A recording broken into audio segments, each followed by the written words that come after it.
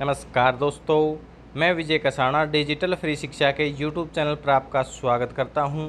दोस्तों एसएसएससी की तरफ़ से एक शानदार कदम बढ़ाया गया है और ये कदम काफ़ी भर्तियों के लिए बढ़ाया गया है, न कि इस भर्ती के लिए। लेकिन साथियों, अब इस कदम के लिए जो प्रोसेस है वो फास्ट कर रही है एसएसएससी क्योंकि लगभग जो भी बड़ी भर्तियाँ हैं, उनके लिए ऐसा प्रोसेस हो चुका है।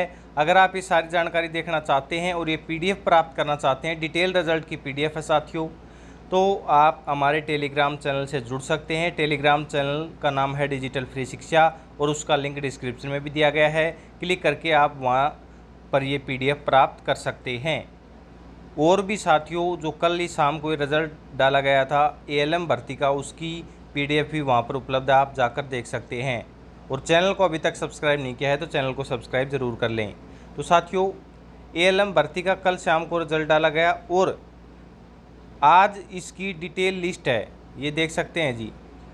List of selected candidate who have claimed and awarded marks, यानी कि जो सिलेक्टेड कैंडिडेट हैं, उन्होंने सोशियो इकोनॉमिक क्राइटेरिया के जो नंबर लिए हैं ए भर्ती में, उनकी डिटेल है, वो प्रोवाइड करवा दी गई है। साथियों जिससे कि कोई भी अगर फर्जी कैंडिडेट है या जिसने नंबर फर्जी ले लिए हैं, उसके घर में ये नंबर है नहीं और उसने ले लिए हैं तो साथियों, उनको पकड़ने के लिए एच की तरफ़ से ये कदम उठाया जाता है। जो शानदार कदम हम इसको कह सकते हैं, ये डिटेल लिस्ट शेयर कर दी जाती है। तो अगर किसी भी साथी के पास ऐसी सूचना है तो वो एच ऑफ़िस तक शेयर कर सकता है। ये देखिए साथियों, पूरी सतहत्तर पेज की पीडीएफ है, जिसमें ये जानकारी प्रोवाइड करवाई गई है। साथियों, इसमें एक कैंडिडेट को 10 से ज़्यादा नंबर नहीं दिए गए हैं एक्स्ट्रा ये बात नीचे आप देख सकते हैं।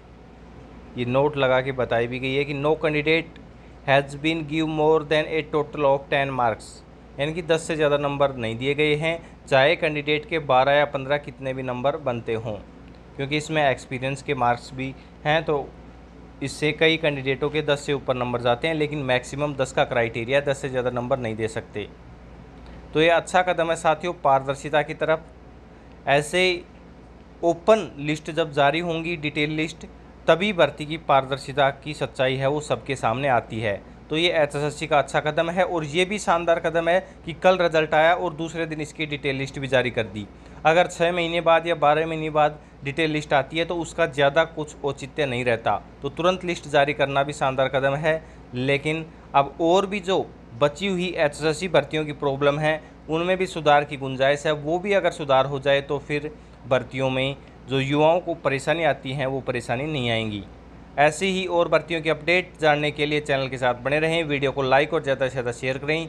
वीडियो यहाँ तक देखने के लिए धन्यवाद, मिलते हैं नेक्स्ट वीडियो में।